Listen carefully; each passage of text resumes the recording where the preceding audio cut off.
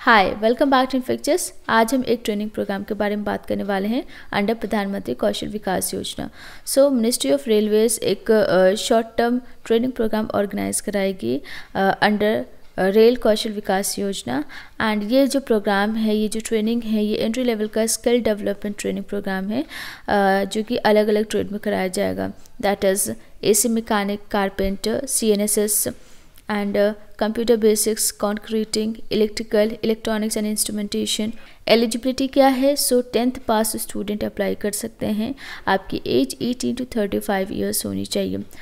Minimum eighteen years and maximum thirty five years यहाँ पे age limit दी गई है। तो जिस दिन का ये नोटिफिकेशन है वो आपका कट ऑफ़ डेट रहेगा और उसके अकॉर्डिंग आपको चेक करना है कि आपकी एज क्या है। सिलेक्शन मेथड क्या है?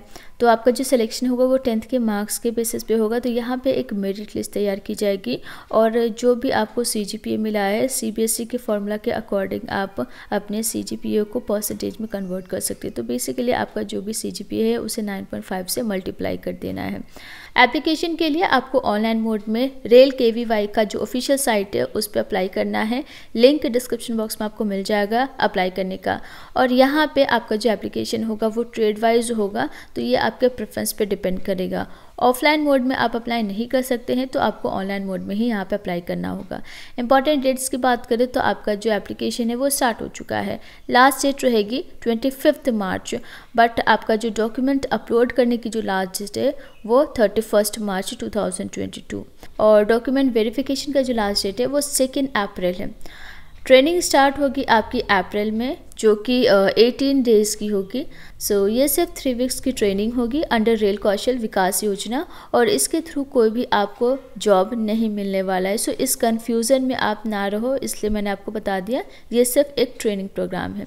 रिजर्वेशन यहाँ पे कोई भी नहीं है। अटेंडेंस रिक्वायर्ड रहेगा 75 परसेंटेज मिनिमम कंपलसरी है और पास क्राइटेरिया है फिफ्टी फाइव परसेंटेज रिटर्न में एंड 60 परसेंटेज प्रैक्टिकल में।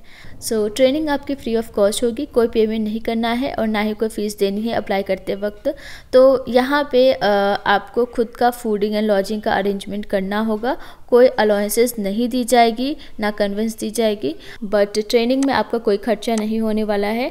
ट्रेनिंग आपका डे टाइम में ही होगा और यहाँ पे आपको टेन रुपीज़ का नॉन जुडिशल स्टैम्प लगा के एफिडेविट भी सबमिट करना होगा तो एफिडेविट आप बना लीजिएगा।